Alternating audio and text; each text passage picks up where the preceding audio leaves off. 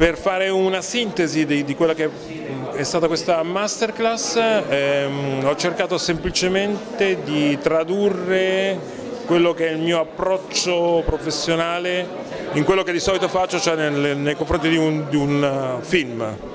Eh, però penso che questo approccio eh, sia, possa essere in qualche modo traslato sia anche a documentari piuttosto che piccoli cortometraggi, qualsiasi opera, se chi la, ne usufruisce è d'accordo, usufruire di questa metodologia. Insomma. Quindi ho fatto una piccola disamina eh, da quando prendo una sceneggiatura, da quando affronto il lavoro di preparazione, di ripresa e di post produzione di un film.